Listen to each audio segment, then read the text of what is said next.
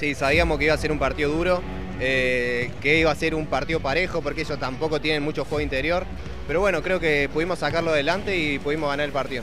Bueno, eh, siguen jugando con dos fichas menos, que no es nada menor, entendiendo que son dos, dos jugadores del poste bajo.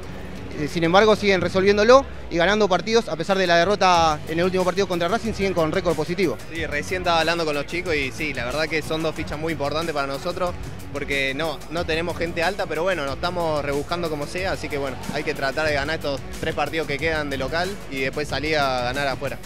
Bueno, ahora les toca a la Unión de Colón, eh, uno de los últimos partidos que le toca de local para después la gira Bueno. de cinco partidos de visitante.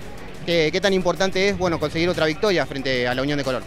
Si nos ganan, tiene que ganar sufriendo. Y si nosotros nos hacemos fuerte, creo que vamos a poder ganar la mayoría de los partidos local, que es lo que queremos. Bueno, felicitaciones por la victoria. Gracias, déjame mandar un saludo a toda mi familia de Carlos Paz y bueno, y a mi viejo que está en Quilino.